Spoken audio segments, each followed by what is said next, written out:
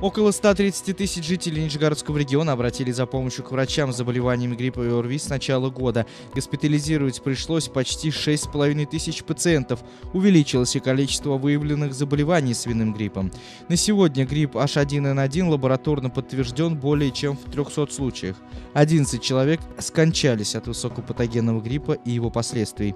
На фоне роста заболеваемости все чаще медицинскую помощь населению оказывают на дому. Вместе с этим продолжается активный спрос на противовирусные препараты. В региональном Минздраве заявляют, медикаментов в аптечных пунктах, а также в больницах в достаточном количестве.